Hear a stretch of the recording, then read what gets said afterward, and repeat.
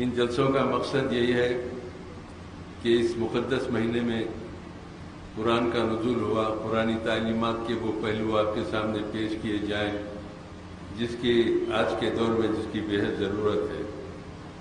वैसे हम अल्लाह ताला का जितना शुक्र अदा करें, कम है कि परवरदिगार आलम वसल्लम, परवरदिगार आलम ने हुजूर अकरम अलैहि वसल्लम की उम्मत में हमको पैदा फरमाया। और उम्मत मुस्लिमा का बड़ा फजीलत वाला, अजमत वाला मुकाम भी मुकर किया। किसी नबी की उम्मत को वो शर्फ व सादत नहीं जो रसूल करीम सल्लल्लाहु अलैहि की उम्मत को हासिल है। बेशुमार वाक़ात हैं रिवायतें हैं। मैं सिर्फ़ मुख्तसर तबरुकन आपके सामने अर्ज़ करना चाहता हूँ कि ये जो रमज़ान मिला है, ये भी सरकार आलम सल्लल्लाहु अलैहि वसल्लम का सदका है कि हमको रमज़ान मिला। और इस मुक़दस महीने में हर नेकी के एवज में अल्लाह ताला सत्तर दर्जे उसके अजर सवाब में इजाफा फरमाता है। इस मुक़दस महीने का एक एक लम्हा बायस रहमत है। अब हम रमज़ान मुबारक के दूसरे दहे में हैं, जिसको पहला दहा रहमत का दहा कहा जाता है। दूसरा दहा मगफरत का दहा है, जिसमें हम पहुँच चुके। और इंशाल्लाह आइंदा का आखिरी दहा दो से नजात का दहा रहेगा। और हैदराबाद के पुराने लोगों के मुहावरे में इसको ये कहा, कहा जाता है कि पहला दहा रवा है दूसरा दहा दवा है तीसरा दहा परा है। यानी पहला दहा रेंगते हुए जाता है टलता टलता नहीं बहुत सुस्त रफ्तारी रहती है उसकी। तो उसको रवा कहते हैं।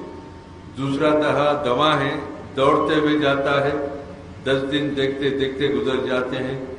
और तीसरा दहा परा है, यानी पर लग के जैसे उड़ जाता है कबूतर। उस तरीके से देखते देखते ये दहा आखिरी दहा खत्म हो जाता है। बहरहाल अल्लाह ने इन दहे को रहमत का दहा, मगफरत का दहा दो से नजात का दहा, तीन हिस्सों में तकसीम किया। और अल्लाह ताला की रहमत जोश में रहती है। बंदे की हर नेकी पर अल्लाह ताला सत्तर गुना, सत्तर दर्जे अर्ज़ सवाब का ऐलान फरमाया है। और इसमें रोजेदार की हर अदा को अल्लाह ने दाखिल इबादत किया। रोजदार का सोना भी इबादत है। रोजदार का तिलावत कुरान, रोजदार की इबादत रियाजत उनके अफकार, उनके वदाइफ ये सब इबादत का दर्जा है और इबादत के दर्जे में बेगुना इजाफा किया बे, बे, बेपना इजाफा किया जाता है। किसी नबी की उम्मत को ये एजाज ये शर्फ नहीं मिला जो रसूल करीम सल्लल्लाहु अलैहि वसल्लम की उम्मत हासिल हुआ है। अल्लाह ताला ने बड़ा अजमत वाला मुकाम मुसलमानों के लिए मुकर किया और मुसलमान अपने मुकाम से नावाकिफ हैं कि हम वो नबी की उम्मत में हैं जिसकी उम्मत को ये एजाज ये अल्लाह ने अता किया, जो किसी नबी की उम्मत को ये नहीं मिला। मैं हमेशा अर्ज़ करता हूँ, आज आज भी आपके सामने अर्ज़ करूँगा, हज़रत ईसा सवाम एक पहाड़ी इलाके से गुजर रहे थे। एक सफ़ेद शफाफ चमकदार चट्टान पे नज़र पड़ती है। इतना खूबसूरत रहता है कि हज़रत ईसा उसको घूरते ठहर जाते हैं, देखते ही रह जाते हैं।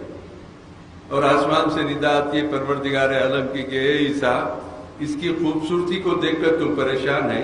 हम तुमको बताते हैं कि इसके अंदर क्या है। अल्लाह ने हुक्म दिया, पहाड़ शक हुआ, दो टुकड़े हुआ। तो हज़रत ईसा और परेशान होकर देखते हैं कि क्या है कि एक खजूर का दरख्त है और एक आदमी नमाज़ की हालत में। एक खजूर का दरख्त है और नमाज़ की हालत में एक शख्स है। हज़रत ईसा उस शख्स के पास जाके जब वो नमाज़ से फारग होते तो दरिया फरमाते कि हज़रत, ये क्या माजरा है? तो वो शख्स कहता है कि क्या बताऊँ ईसा? ये खजूर मेरी गजा है, ये खाता हूँ और अल्लाह के लिए नमाज़ पढ़ता हूँ, इबादत करता हूँ। तो हज़रत ईसा ने पूछा, ये सिलसिला कब से है? तो वो शख्स कहता है कि 400 साल से सिलसिला मेरा जारी है। 400 साल से इस चट्टान में खजूर को गजा बनाकर अल्लाह के लिए इबादत और रियादत करता हूँ।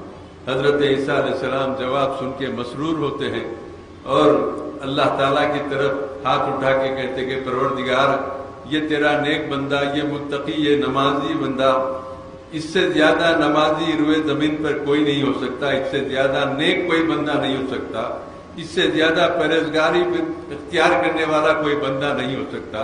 ये सबसे रुए ज़मीन पे सबसे नेक और सबसे ज़्यादा इबादत गुजार तेरा बंदा है। तो अल्लाह ताला की निदा आती है कि, ए ईसा, तुमको नहीं मालूम। ए ईसा, तुमको नहीं मालूम, मेरा जो हबीब होगा मोहम्मद रसुल्ला वसल्लम, उनका एक उम्मती चौदह शाबान शबरात के मौके पर मगरिब के बाद दो रकात नफील पड़ता है तो उसको मैं 400 साल नमाजों से बढ़कर उसको अजर सवाब से सरफराज फरमाता चार सौ साल इबादतों से बढ़ के अजर सवाब से सरफराज फरमाता हूँ। तो हज़रत ईसा चीख मार के कहते हैं कि परवरदिगार, मुझको भी मोहम्मद सल्लल्लाहु का उम्मती बना दे। जब मुसलमानों का मुकाम, यानी उम्मत मोहम्मदिया का मुकाम, अल्लाह ने इतना बुलंद फरमाया जो किसी नबी की उम्मत को ये एजाज, या शर्फ, ये शहादत नहीं मिली तो जब अम्बिया के ऊपर ये मुकाम ज़ाहिर हुआ तो अम्बिया दुआ मांगा करते थे कि सर, परवरदिगार, हमको सरकार आलम सल्लल्लाहु अलैहि वसल्लम का उम्मती बना इतना फजीलत वाला मुकाम। मुसलमानों को अल्लाह ने रसूल करीम सल्लल्लाहु अलैहि वसल्लम के सत्ते में अता किया। ये रमज़ान भी उन्हीं की सत्ते में मिली। ये तिलावत ये कुरान का नजूल भी इसी मुकदस महीने में हुआ। और रसूल करीम सल्लल्लाहु अलैहि वसल्लम ने पुरानी तालीमत पर अमल करके बता दिया, अगर तुमको जीता जागता कुरान देखना है तो जात गिरामी अलैहि वसल्लम के उसमें हंसना को देखो, जिसका बैठना कुरान, जिसका चलना कुरान, जिसका बोलना कुरान, जिसकी हर जिसकी हर सीरत के हर गोशे को गौर करो तो पुरानी तालीमत की अकाशी करती है। बहरहाल ये मकसद यही होता है कि इस मुकदस महीने में हम सोम सलाद की पाबंदी करें, रोजों की कसरत से रोजों को रखें तिलावत पुरानी में मसरूफ रहें समात पुरानी में मसरूफ रहें नमाज़ तरावी में कुरान की तिलावत होती है। तीन रोज़े, तीन पारे, कहीं कुछ पारे, उसको पाबंदी के साथ एक कुरान कम अज कम आप समाप्त कर सकते हैं। अल्लाह ताला बेपना के लिए मुकर करता है। तो हमको चाहिए कि इस महीने में हम पाबंदी के साथ फराज इस्लाम की पर अमल पैरा होकर अपनी ज़िंदगी को और अपनी आखिरत को बेहतर से बेहतर बनाए। आज हम हालात को देखते हैं। कि हमारे हालात, हमारे मुल्क के दिन ब दिन नए अंदाज के रूप पे जाते हैं और नए मसाइल खड़े होते हैं तो ऐसे वक्त में हमको चाहिए, हम तो पुरानी तालीमत पर अमल पैरा होकर अपने लिए राह मुतन करे और हर मुसीबत का छुटकारा पुरानी तालीमत पर अमल पैरा होने से हमको हासिल हो सकता है। हज़रत सालाना मिल्लत रहमत फरमाते थे, एक इंसान के पैदा होने के बाद से उसके मरने तक पुरानी तालीमत उसकी रहनमाई के लिए काफ़ी है। यकीन पुरानी तालीमत हमारी रहनमाई करती है। कौन से हालात में क्या तालीम हमको अपनाना चाहिए? कौन से हालात में कौन से रास्ते को हमको जाना चाहिए? ये पुरानी तालीमत में हमको मिल जाएँगे, लेकिन शर्त है किसी अच्छे उस्ताद के पास बैठ के जानो अदब तय करे और पुरानी तालीम हासिल करके उसके तफासिर के ज़रिए हम अपने लिए राह मुतन करें। बहरहाल ये मुकदस महीना है, जिसमें अल्लाह की रहमत जोश में आती है, और इस मुकदस महीने में वो एक रात भी है, जो हज़ार महीनों से अफजल करार दी गई है, जिसको कदर की रात कहते हैं। उसमें भी इबादतों का कसरत से इख्तियार, इबादतें अदा करनी है। अल्लाह के हजूर में अल्लाह की रजा के लिए, अल्लाह की रजामंदी के लिए हम अपनी इबादतों के ज़रिए परवरदिगार को राज़ी रखें। आज हमको अपनी इस्लामी तालीमत पर अमल पैरा होते हुए मौजूदा हालात का हम मुकाबला कर सकते हैं। हमको किसी की तरफ़ ललचाई भी नज़र डाल के देखने की ज़रूरत नहीं है। हमारे पास इतने लाजवाब खजाने हैं सरकार आलम वसल्लम का उसमें हंसना है, पुरानी तालीमत है, साहबा कराम के वाकयात है अलिया कराम बुज़ुर्ग दिन की हालात ज़िंदगी है। इन तमाम को पेश नज़र रखकर, इन तमाम से अपने आप को वाबस्ता कर ले तो मुसलमानों को, मुसलमानों की भलाई होगी, मुसलमानों पर जुल्म करने वालों को भी अल्लाह राह रास पर लाएगा। बल्कि वक्त ये भी आ सकता है कि तमाम के तमाम दाखिल इस्लाम होकर दावत इस्लाम को कबूल करे और हर तरफ़ इस्लाम का चर्चा होने लगा। ये अल्लाह के कुदरत के लिए कोई बड़, बड़ी बात नहीं है। परवरदिगार की हालत ये है कि उनके अंदाज करम खास हुआ करते हैं। दिल बड़ा ना हो तो दिल तोड़ दिया करते हैं।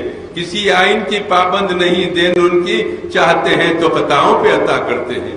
परदगार चाहे तो यकीनन हमारे मुल्क को न सिर्फ़ अमन व अमान कायम रखेंगे, बल्कि मुल्क में इस्लाम की सरबुलंदी के लिए अल्लाह असबाब फ्राहम करेगा और हर तरफ़ मुसलमानों को खुशहाली से सरफराज फरमाया जाएगा।